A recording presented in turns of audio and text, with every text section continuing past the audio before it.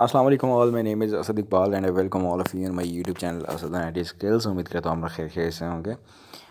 आज जो वीडियो है, हमारा जो टॉपिक है that is do while loop और आज हम सीखेंगे कि डू वाइल लूप का किस तरह से इस्तेमाल किया जाता है in Java language so without wasting time let's go towards the topic and I let you know that how to use जिस तरह हमने पिछली वीडियो में पढ़ा कि फॉर लूप वाइल लूप कैसे यूज़ करते हैं, इस तरह इसके अंदर भी पढ़ेंगे। इसके अंदर भी तरीकाकार वही है int N is equal to हमने फॉर एग्जांपल एक वेरिएबल खुद से डिक्लेयर किया, उसको इनिशलाइज़ किया।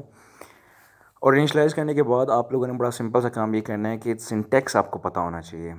I am suggesting you guys again if you are not aware of while do while and for loop structure then you have to watch my videos and my playlist that is name by C and C plus plus उसके अंदर बड़ी detail के अंदर मैंने loops को discuss किया हुआ है।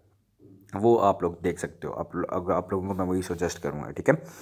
सो so, आपने करना कि आपने डू का सिंटेक्स इस्तेमाल करने के बाद जैसे आप डू का सिंटेक्स इस्तेमाल करोगे उसको आपने एक ब्रैकेट लगा लेनी है। इस ब्रैकेट के अंदर सारा काम डिपेंड करता है। आपने क्या करना है? आपने system dot out dot print L आपने क्या करना है? आपने आ, जो प्रिंट एल करना क्या है आपने? बेसिकली आपने वन से लेकर फाइव तक काउंटर प्रिंट करवानी है। तो आपने यहाँ पे डायरेक्टली क्या कर दोगे? एन लिख दोगे जैसे मैंने यहाँ पे एन लिख दिया। उसके बाद आपने सेमी कॉलन प्लेस कर देना। और यहाँ पे आप लोगों ने ये काम करने के बाद और यहाँ पे आप लोग क्या करोगे? इंक्रीमेंट करोगे हर दफ़ा। तो यहाँ पे आपने इंक्रीमेंट कर दिया। सही है?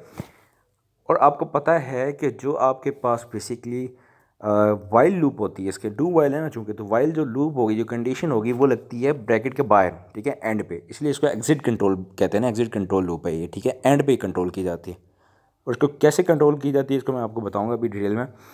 अब ये फाइव तक लेके जाना तो मैं यहाँ पर लिख दूँगा एन लेस देन सिक्स ठीक है?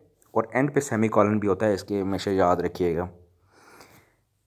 अब मैं इसको जब प्रोग्राम को रन करूँगा तो इसको क्या शो करना चाहिए? वन से लेकर फाइव तक काउंटिंग प्रिंट करवानी चाहिए। तो मैं इसको रन करके देख लेता हूँ।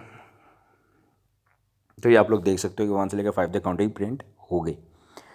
सो so, अब इसको एक्सैक्ट कंट्रोल क्यों कहते हैं? इसको मैंने ऑलरेडी बड़ी डिटेल में बताया लेकिन जावा के अंदर दोबारा एक दफ़ा बता दूँ आप लोगों को कि फॉर एग्जांपल यहाँ पे मैंने अगर कंडीशन ये डू वाई लूप एक दफ़ा लाजमी एग्जीक्यूट होती है।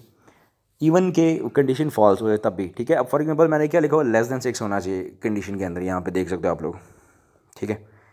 और स्टार्ट में कहाँ कह रहा हूँ? वन से। ये तो बिल्कुल ठीक है, लेकिन अगर मैं स्टार्ट कर दूँ फॉर एग्जांपल अलेवन से फॉर एग्ज़ाम्पल कर देता हूँ स्टार्ट ठीक है?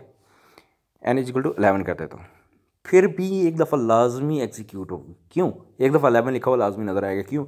क्योंकि ये एग्जिट कंट्रोल है ना एंड से कंट्रोल कर रहा है, यहाँ से कंट्रोल कर रहा है। एक दफ़ा तो system dot out print L से एन गुजर आया ना। तो एक दफ़ा तो लाजमी प्रिंट होगा।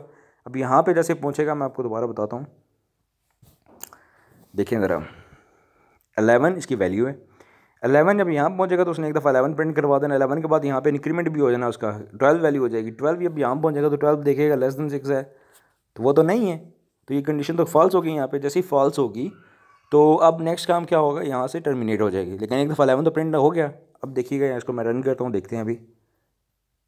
तो देख लो, आपके पास एक दफ़ा एलेवन प्रिंट हुआ हुआ नज़र आ रहा है आपको, ठीक है?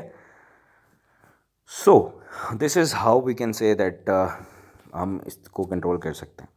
होपफुली आपको ये वीडियो पसंद आई होगी और अगर आप लोगों ने चैनल सब्सक्राइब नहीं किया तो चैनल ज़रूर सब्सक्राइब कर लें ताकि आप लोगों को इस तरह की इंटरेस्टिंग और लेटेस्ट वीडियोज़ जो हैं, वो मिलते रहें। Thank you so very much and Allah निकेपान